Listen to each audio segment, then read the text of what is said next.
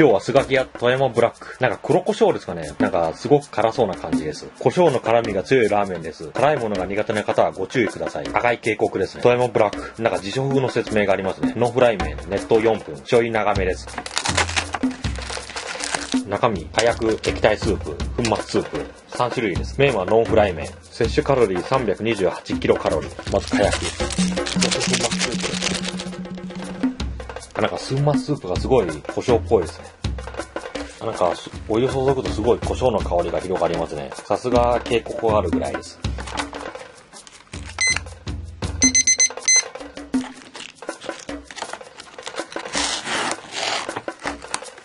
これで液体スープを入れます。でも液体スープも濃い醤油って感じで、このブラック、富山ブラックっていうイメージを印象づけてますね。規定時間4分待ちましたけど、なんか麺はまだ固めですね。これが仕様かもしれないです。これから食べてみます。まず名前の通りこの富山ブラック、黒いです。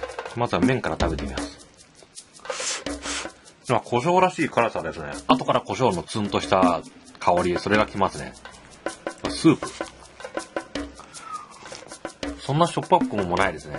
あと辛さも、この胡椒の、この香りが強いという辛さで、まあ激辛っていう部類じゃないですね。まあ苦手な方ですと厳しいかもしれないですけど、そんなに後引くような辛さ、いわゆる激辛系の辛さはないです。それでこれチャーシュー。これはまあインスタント麺の火薬系の味ですね。次はまあラーメンライス。これに合うかどうかを見てみます。